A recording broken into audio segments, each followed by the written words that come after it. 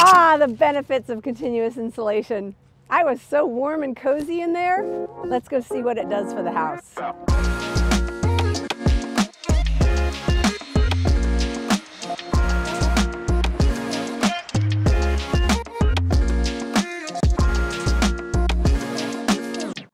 I'm here today with Jason Mather. He's come up from La Crosse, Wisconsin, where it must be a little bit warmer because I'm wearing a lot more layers than you are. Of course, in Duluth, we know the value of an extra layer, and it's not just applicable to our clothing, it's applicable to our homes. We are using for our continuous insulation on this house a nail base panel. We're using three and a half inches of EPS foam. It's bonded to a 5 8 inch layer of OSB. Right. This is not structural.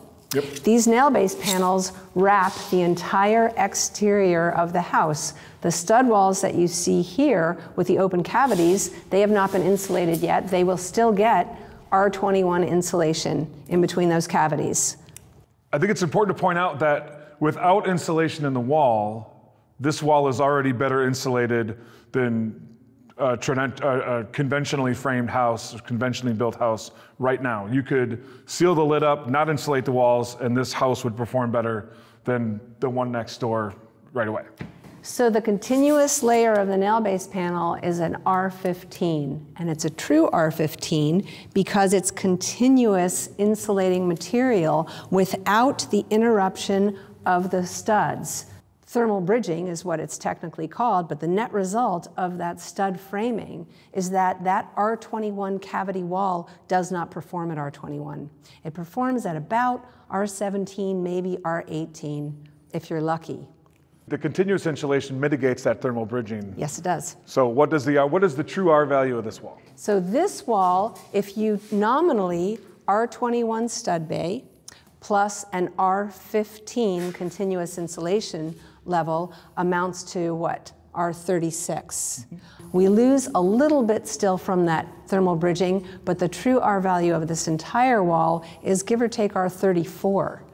And if the true R value of the typical code built R21 cavity wall is really around R17, we have just doubled the insulating value of this home with this extra layer of continuous insulation to the outside of the wall. So nail-based panels are something that the commercial roofing industry has been using for decades. You can buy them from roofing distributors. You can also buy them from almost all SIP manufacturers. Why? Because essentially a nail-based panel is an IP.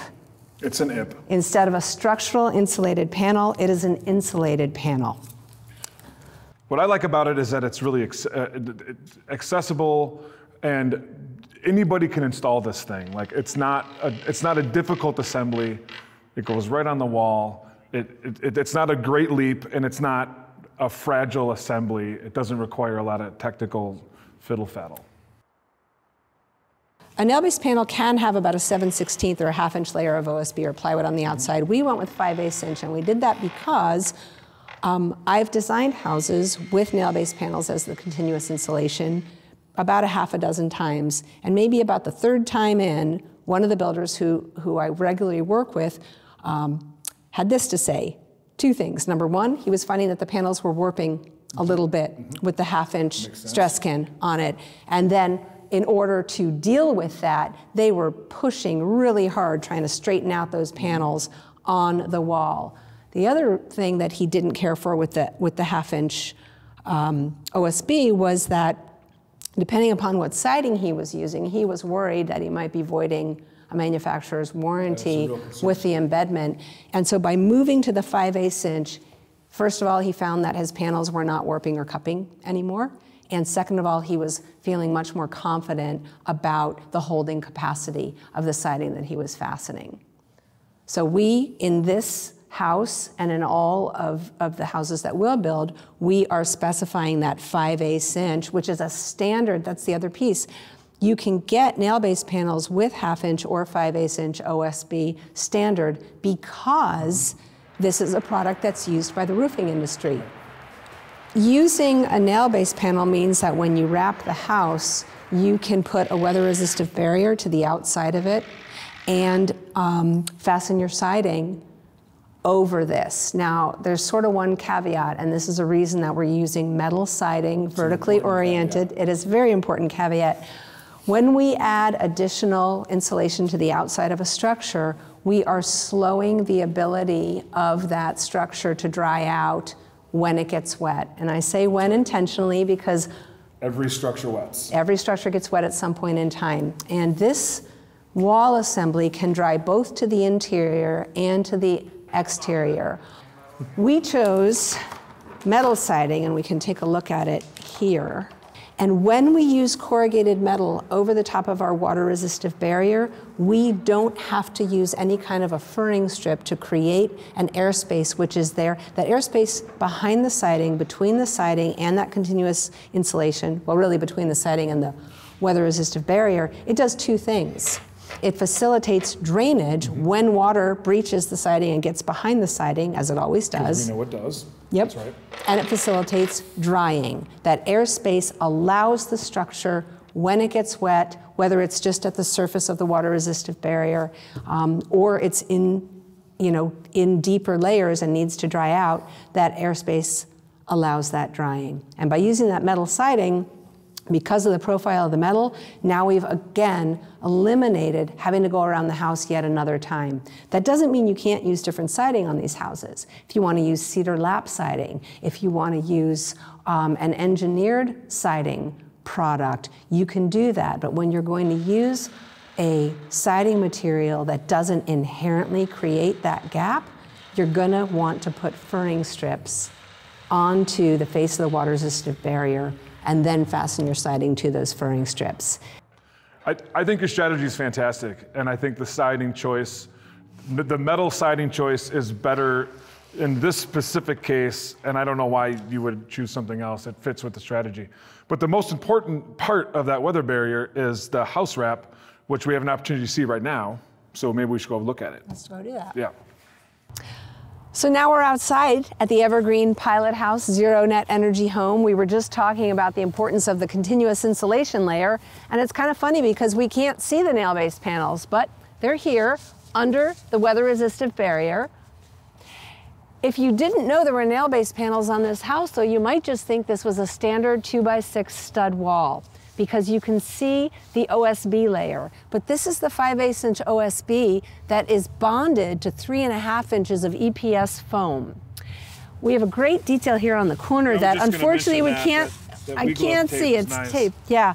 So this is taped uh, our builder is using a diagonal cut at these panels. These panels are about four and one eighth inches wide, and at both when, when the panels meet each other at the corner, you've got a couple of different options.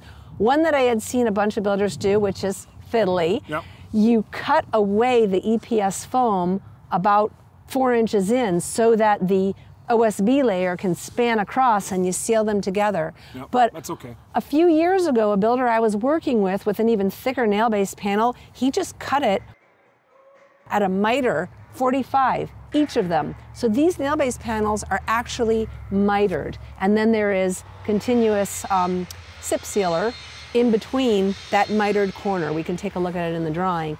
And I don't know if you can see it here. I can't quite get it up where the, screws. I can see the screw right here. So I'm about five inches in from the corner and here's the screw. We know it's going into solid framing.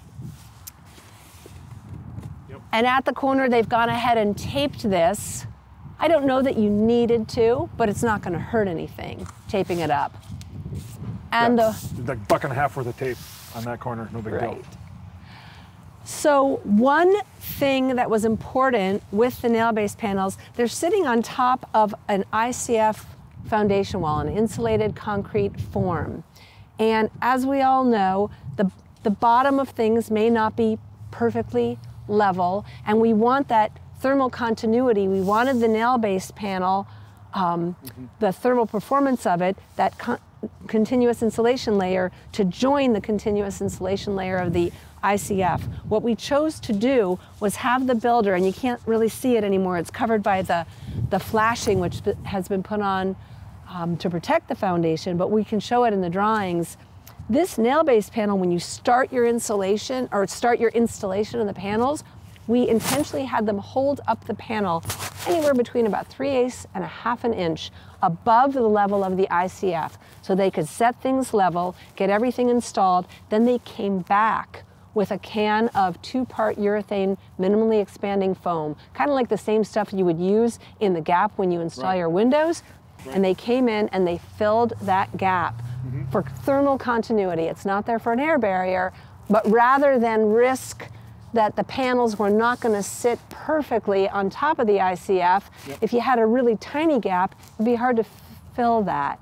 But with an intentional 3 eighths to a half inch gap, they could install that minimally. That's a good strategy because um, people that have built with ICFs and SIPs, this is like a SIP, um, with, with, with, that combination, that joint is actually really tricky.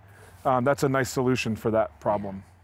I think that an awful lot, when we're talking about management of water, heat, and air, transitions where two dissimilar materials meet or where something turns a corner, that where there's a change in plane or a change in material or a joint or a seam, those are always going to be the areas where you need to pay the most attention. When you finish wrapping the house with the nail-based panels, it's almost like now you're looking at a plane that you would have if you had just built a stud wall and sheathed your stud wall with OSB, which would meet code, and you're ready to go and install your windows and put on your water resistant barrier and deal with your flashing, it's no different if you've used a nail-based panel. And I think that's one of the merits of using this material for continuous insulation.